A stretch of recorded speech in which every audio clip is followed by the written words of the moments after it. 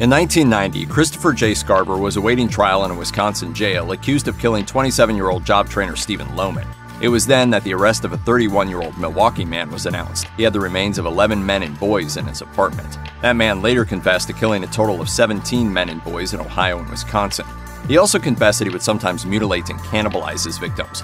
Scarver came to know serial killer Jeffrey Dahmer much like the rest of America via the news. But Scarver got to see more of Dahmer than most people. Both men were convicted murderers, serving out life sentences together in the Columbia Correctional Institution outside of Madison. Although Scarver was also a convicted murderer, he couldn't stomach the things he'd heard Dahmer had done. Scarver later told the New York Post that Dahmer would antagonize inmates by making food look like severed body parts and leave them for people to find. Scarver said he kept his distance from Dahmer until 1994. Scarver claims when the two were left alone in the prison gym, he bludgeoned Dahmer to death with a metal rod. He also killed another inmate at the same time named Jesse Anderson. According to what Scarver told the New York Post, Anderson and Dahmer antagonized him, so he killed them.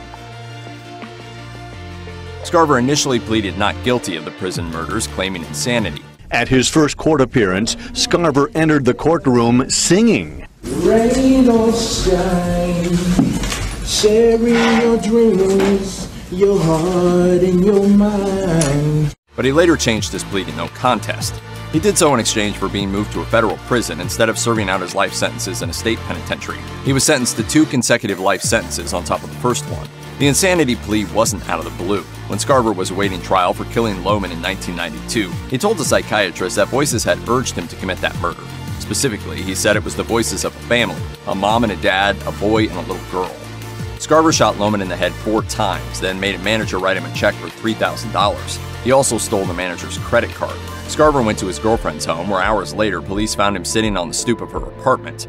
He had the check, the credit card, and the gun he used in the murder in his pocket. Scarver told the psychologist he'd never been in trouble with the law or even been in a fight. He said the voices of the family told him everything was going to be alright and it was meant to happen like this. The New York Times reported that he said the voices also told him, quote, I'm the chosen one.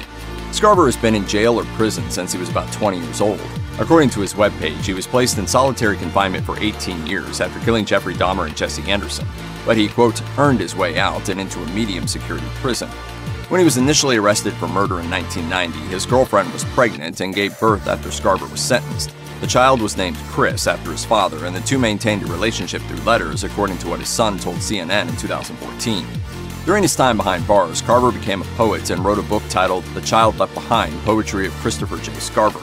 Scarver also writes short stories, musical compositions, and songs, and creates art.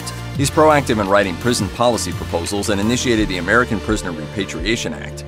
Scarver also tries to encourage his son. In part of a letter the younger Chris shared with CNN, Scarver wrote, Tough times don't last, tough people do, and you are the toughest kid I know.